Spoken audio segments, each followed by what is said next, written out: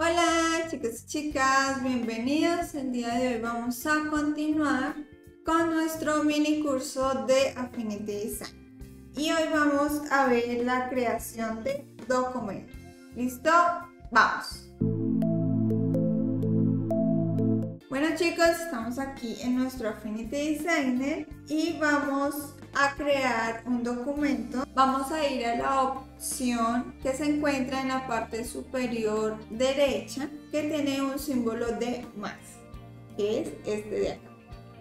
Este nos va a llevar a una pantalla donde tenemos varias formas de crear nuestro documento. La principal que es un documento nuevo, seleccionamos y nos van a aparecer los parámetros que queremos en nuestro proyecto. El primero es el tipo. Aquí selecciona el objetivo o el formato de entrega de nuestro proyecto. Aquí nos va a abrir varias opciones que tiene Affinity Design, como por ejemplo si lo queremos para imprimir, imprimir listo para prensa, pueden trabajar con tamaños de impresión específicos de foto, resoluciones de pantallas específicas para web y con la opción dispositivos diseñada para especificaciones de documentos de iPad, iPhone, así como seleccionar ajustes preestablecidos de documentos nuevos o existentes.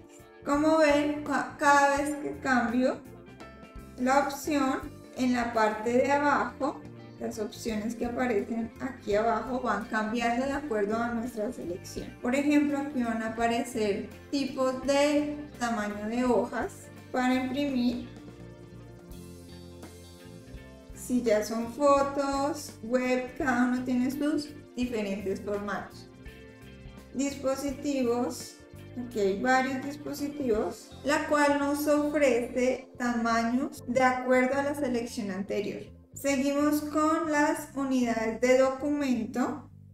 Aquí nos va a mostrar las dimensiones que vamos a tener, ya sea si colocamos alguna regla, si queremos modificar el tamaño, lo queremos en píxeles, puntos, pulgadas, si lo queremos en unidades de medidas físicas.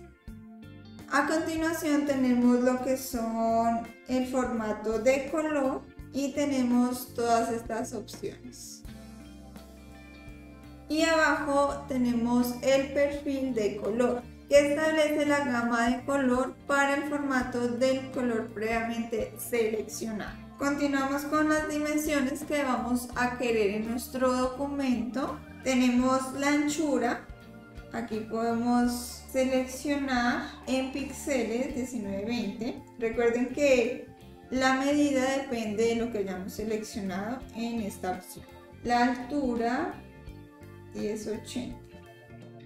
La siguiente establece la resolución del documento. Vamos a aumentarlo. Seguimos con la orientación.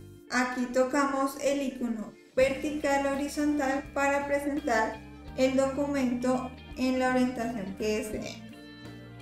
Abajo tenemos la opción de fondo transparente.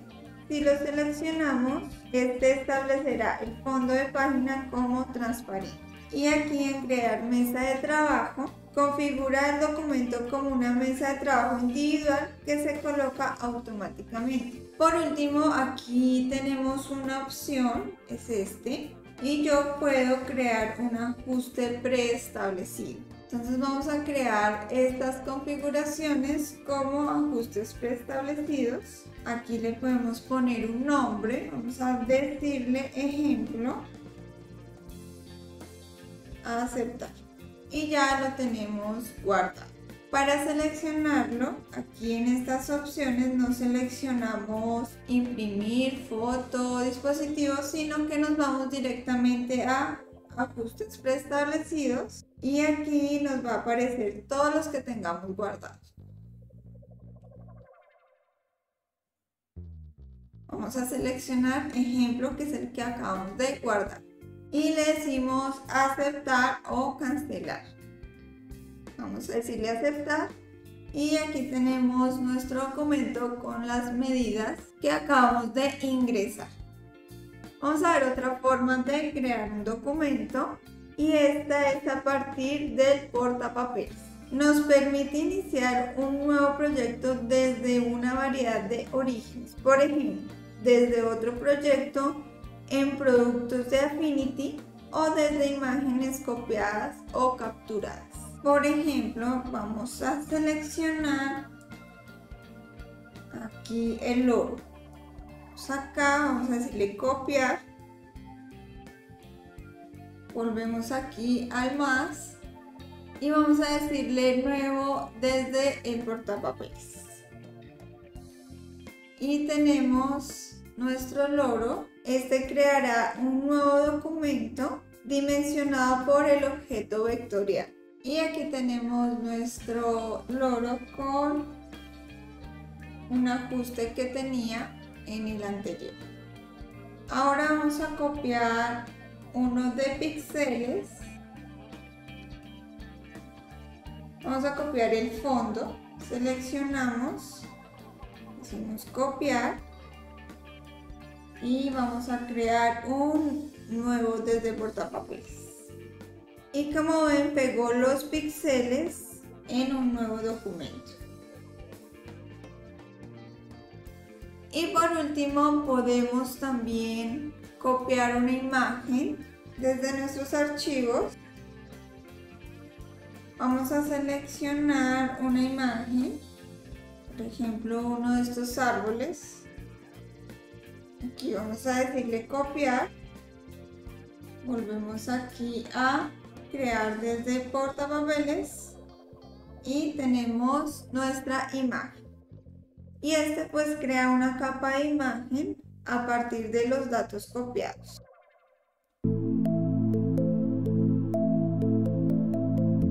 Y continuamos con el de plantillas de documentos. Yo puedo crear una plantilla, por ejemplo esta, decirle acá y aquí hay una opción que dice exportar como plantilla. Yo ya tengo una plantilla exportada. Vamos aquí a seleccionar nuevo a partir de plantilla y aquí tengo ejemplo plantilla. Y aquí ya puedo empezar a crear mi documento a partir de de una plantilla creada anteriormente. Digamos que aquí ya tengo definido el tipo de letra que va a ir en el título, el tipo de letra y tamaño que va a ir en la parte inferior, es decir, que contienen estilos de texto, gráficos, diseños que son reutilizables, lo que nos proporciona un archivo listo para usar desde el momento en que lo abrimos. La siguiente es abrir desde nube o importar desde nube.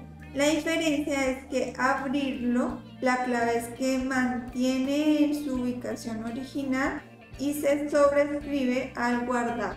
En cambio, al importarlo, este siempre realiza una copia de la imagen o el documento original y lo carga como un documento nuevo. Por ejemplo, abrirlo desde nube yo tengo este diseño ya guardado. Entonces voy a abrirlo y yo puedo hacerle cambios. Vamos aquí a la persona pixel y vamos a pintar.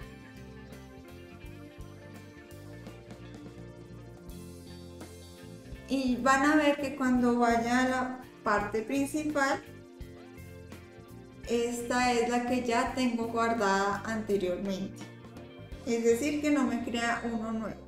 En cambio, si yo le digo importar desde nube al mismo archivo y tenemos un archivo totalmente nuevo, es decir que si salgo a la parte principal, lo tengo acá en la parte inicial porque es totalmente nuevo, el que tengo acá guardado no me lo va a tocar.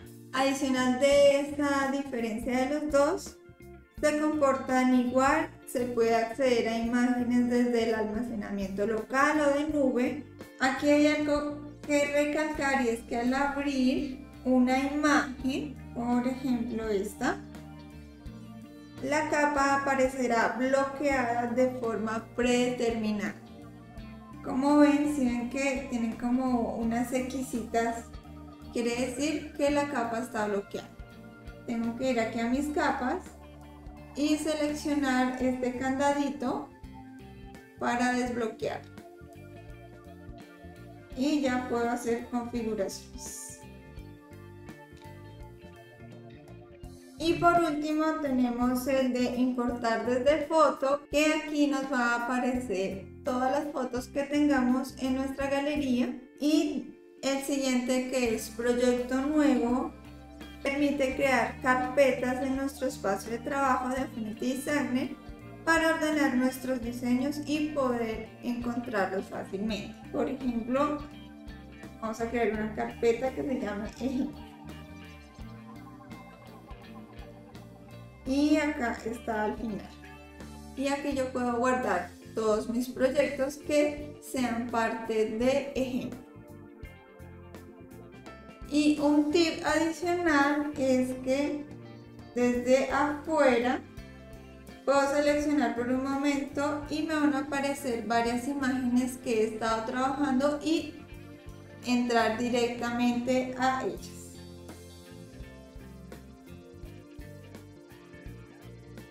Y listo chicos, eso sería todo por el día de hoy. Espero que hayan aprendido un poco más sobre esta herramienta. Y recuerda, si tienes alguna duda, me la puedes escribir aquí en los comentarios que yo estaré muy pendiente. Y no siendo más, me despido, que tengan un excelente día y nos vemos en el siguiente video. ¡Chao!